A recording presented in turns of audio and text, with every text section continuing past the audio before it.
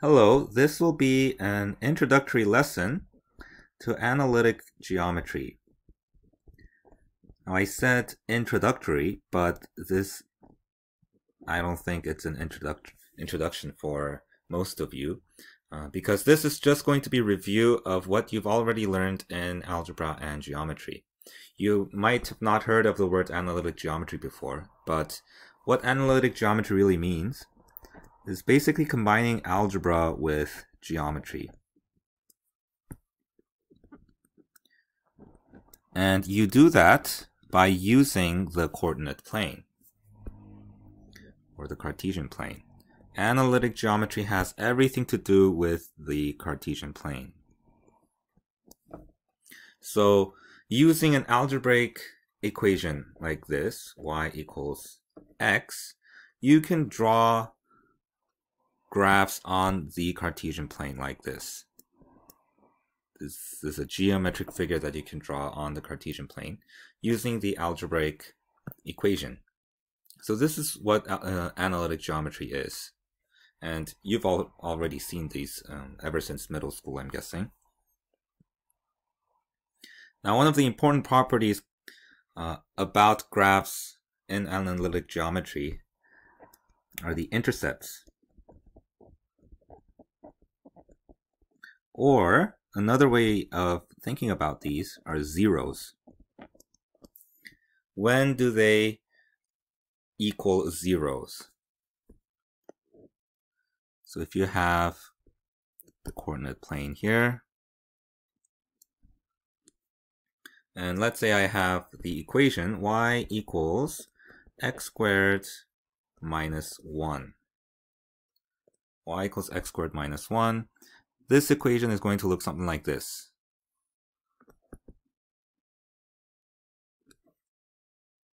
Or the graph is going to look something like that. And what I mean by intercepts are the points that the graph crosses either the x-axis or the y-axis. So the x-intercept would be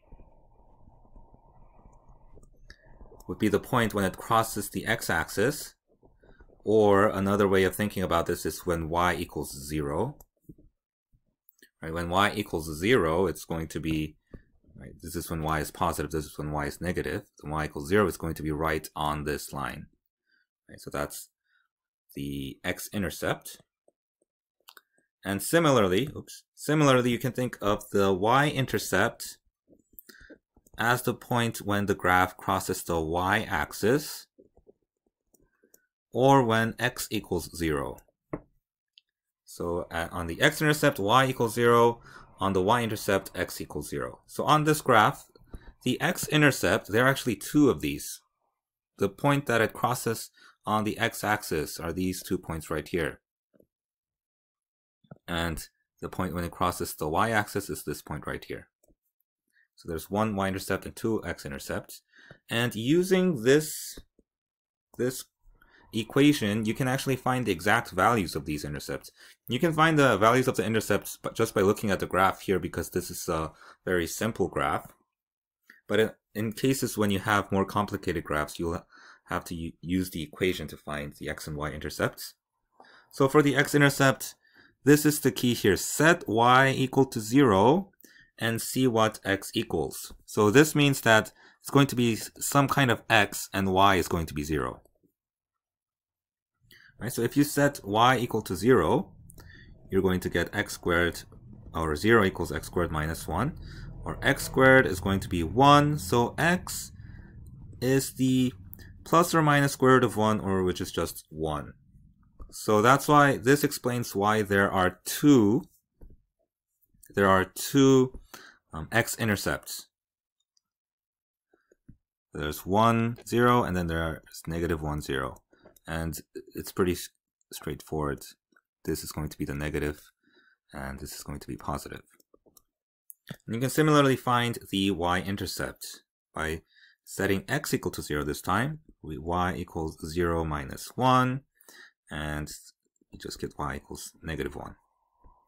So because x equals 0, it means the point is going to be 0, comma something, and we found that the y value is negative 1, so that's our y-intercept. Okay, so this is how you can find the x and the y intercepts by setting uh, the other variable equal to zero. Now the reason I've already included, or I've also included this word right here, zeros, is because when you are graphing polynomial equations, the zeros, or the intercepts, are often referred to as zeros. I'm sure you've uh, seen polynomial equations like this. x cubed plus 2x squared plus 4x minus 1. Right? This would be the polynomial. And the question might be asking, what are the zeros of this polynomial? Meaning, when for which values of x does this equal 0? And this is exactly asking for the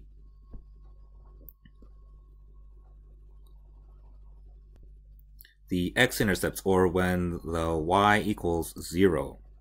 Right? It's substituting the 0 in for the y. And I'm not actually going to graph this exactly.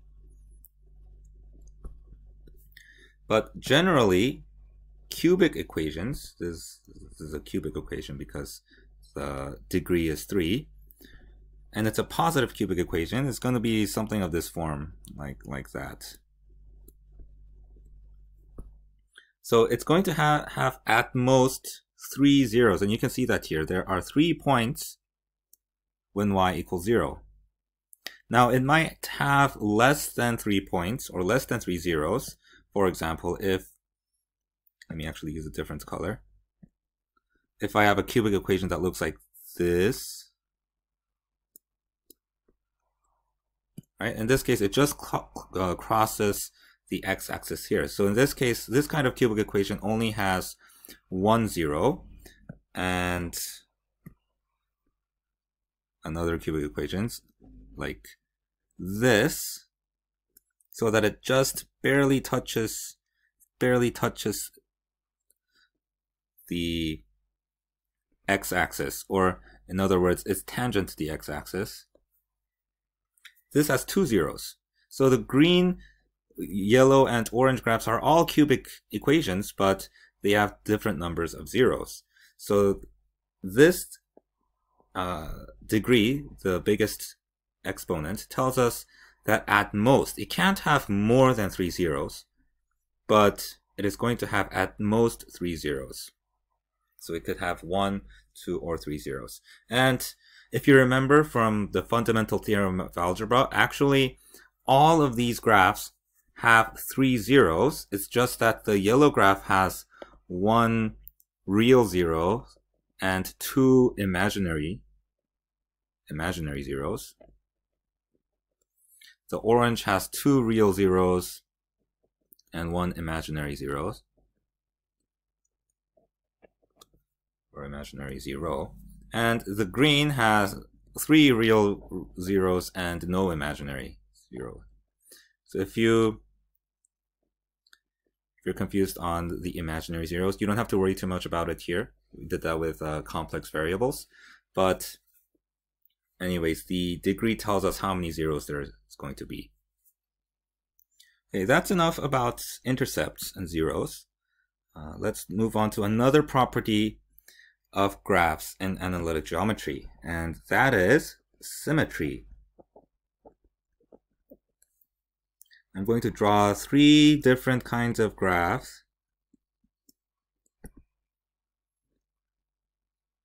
Actually, I might need a little bit more space towards the bottom, so I'll draw the graphs up a little.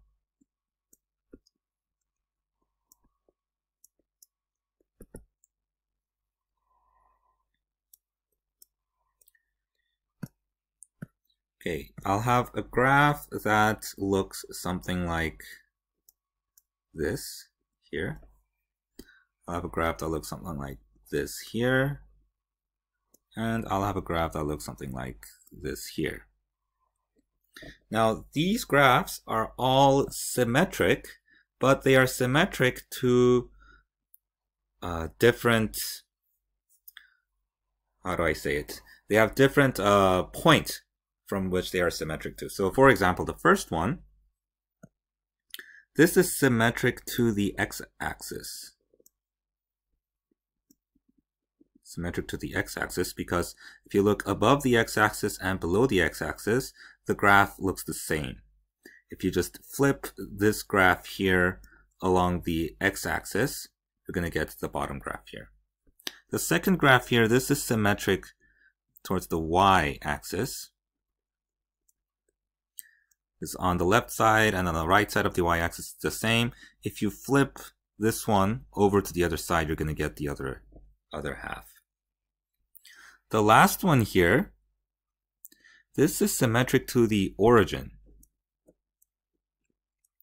If you look from the point of view of the origin, the one on this side, or the graph on that side of the origin, is exactly the same as the graph on the other side. You can flip this over to the other side. You can draw a graph that looks like this as well. This is also symmetric to the origin because this graph on that side the same as the graph on that side. Okay, so the, these are three different uh, cases of symmetry. And this is how you can see graphically that they are symmetric uh, to the x-axis, y-axis, or the origin. How can you check if they are uh, symmetric algebraically? Looking at our first graph here, this actually is the equation for that graph. And you'll notice that uh, for both positive and negative values of y, if you put in a negative y or a positive y here, they're going both going to give you the same values of x because it's being squared.